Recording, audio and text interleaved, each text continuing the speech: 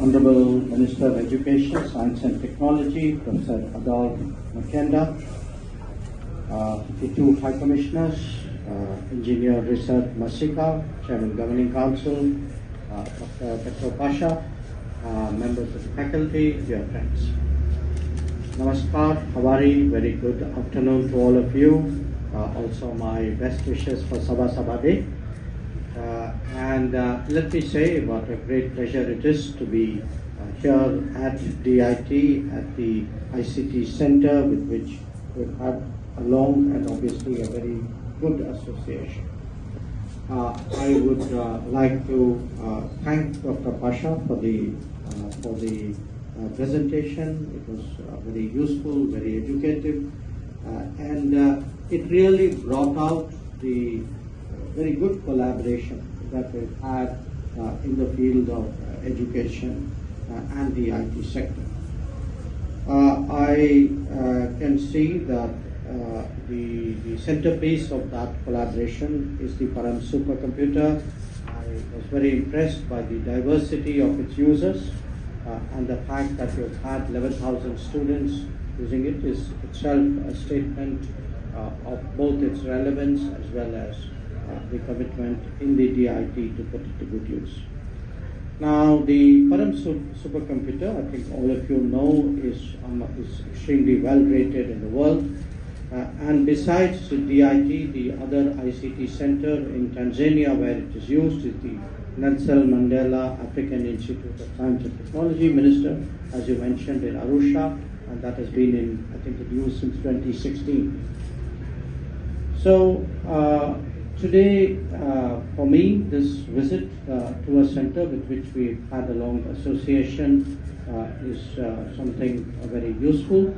Uh, I have absorbed the message that, you know, with technology, as technology marches on, I think organizations and cooperation also need to march on, need to be upgraded, and I certainly would encourage Minister you and the government to have a conversation with the High Commissioner to see what can we do together. Because I think part of the maturing is also that it becomes increasingly collaborative. And, and that is really the kind of partnership that uh, we would uh, like to bring.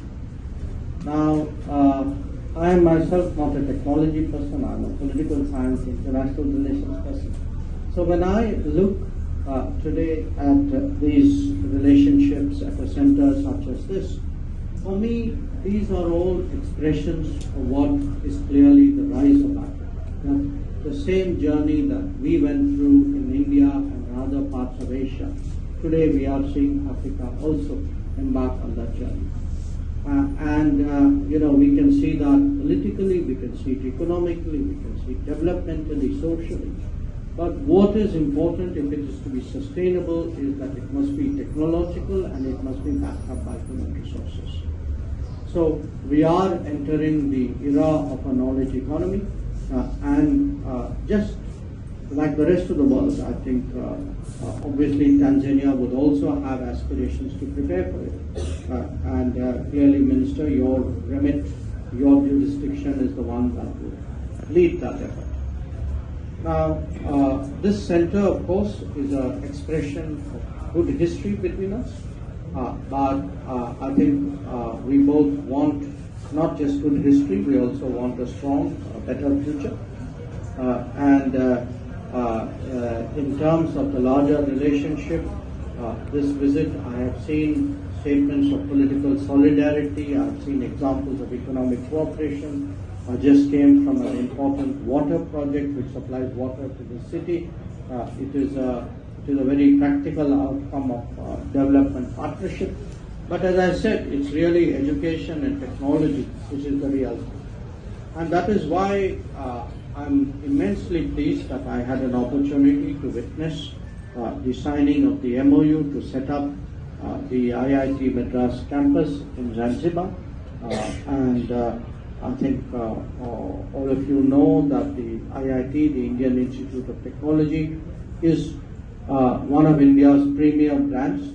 not just premier technology branch or education branch, it is our, our overall premier brand as well. And uh, today, its role in, in uh, developing uh, and deploying technologies, in spurring innovations, in encouraging startups is immense. Uh, and we have, of course, two senior representatives uh, who will have the responsibility of getting uh, this campus off ground as quickly as possible. And I look forward to its rapid development. I certainly assure you, Minister, that we will be tracking it from India as well. And, uh, you know, this is again something which uh, we must work uh, very wholeheartedly. But I also hope that this campus and DIT would develop a relationship. I think that is something which would uh, also be very useful. And uh, I would like to take the occasion to express uh, my sincere appreciation and those of my colleagues